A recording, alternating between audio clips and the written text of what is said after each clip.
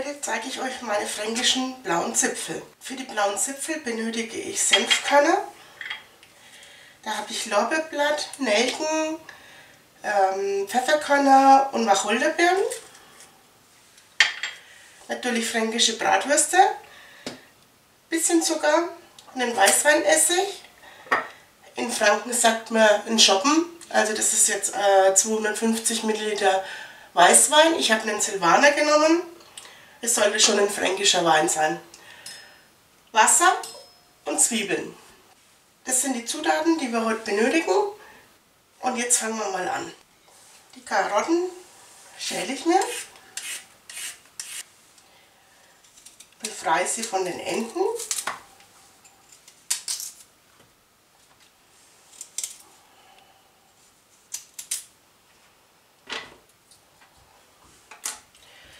Und jetzt schäle ich mir gleich noch die Zwiebeln.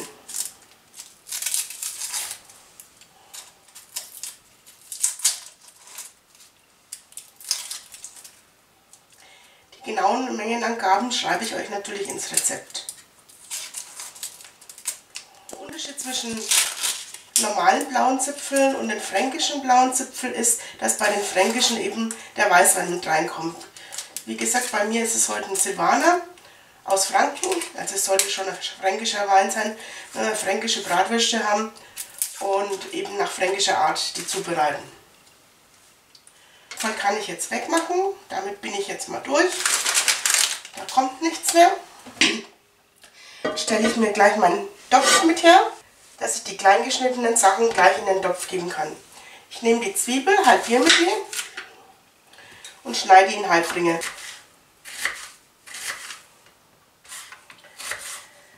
Als Beilage gibt es heute bei uns zu den blauen Zipfeln ein frisch gebackenes Roggenbrot.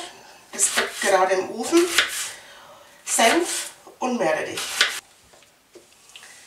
Mit der Zwiebel bin ich fertig. Wie gesagt, die gebe ich schon gleich in meinen Topf rein. Jetzt nehme ich mir die Karotten, halbiere mir die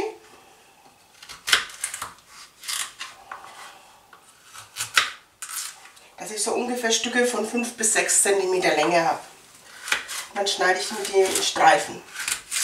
Die sollten nicht zu dick sein, so ungefähr 1,5 bis 2 mm. Dann gebe ich die auch in den Topf rein. Und das mache ich jetzt mit meinen beiden Karotten. Blaue Zipfel wird im Franken zum Beispiel gerne für Geburtstagsfeiern gemacht. Da kann ich mir den Sud vorbereiten und wenn dann die Gäste da sind, muss ich die Bratwürste nur noch reinlegen.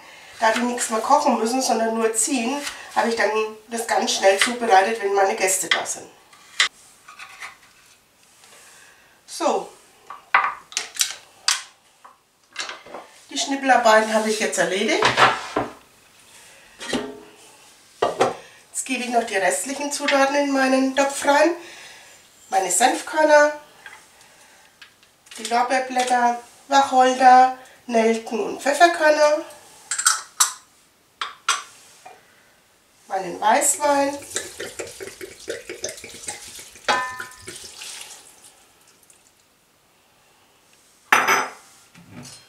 das Wasser,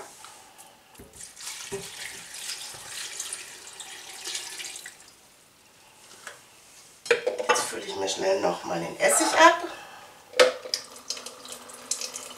Nehme genauso einen Schoppen Essig wie ich Weißwein nehme, also 250 Milliliter.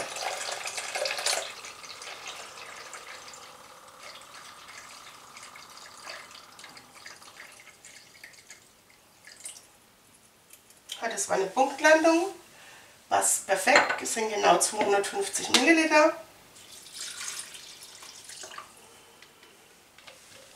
Und noch meinen Zucker.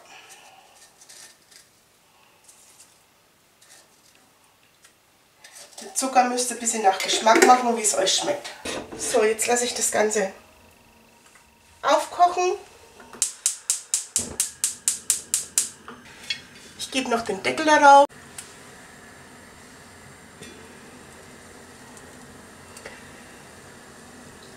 Mein Sud kocht jetzt leicht, so lasse ich das jetzt für 15 Minuten köcheln. Meine Bratwürste habe ich jetzt alle in den Topf rein. Ich habe neun Stück genommen, wir sind zu dritt. Ich rechne pro Person drei Stück.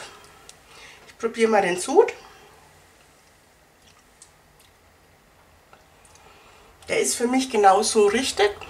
Ich gebe jetzt da nichts mehr dazu. Ihr könnt es nach euren Geschmack machen. Wenn ihr mehr Essig haben wollt oder noch mehr Weißwein, dann gebt es einfach dazu oder noch eine Prise Zucker. Das macht dann, wie ihr möchtet. Unser Brot ist auch schon fertig gebacken. Bei uns gibt es heute eine Roggenmischbrot dazu. Wenn ihr sehen möchtet, wie ich das Brot gemacht habe, dann schreibt es mir in die Kommentare. Dann mache ich euch gerne ein Video davon.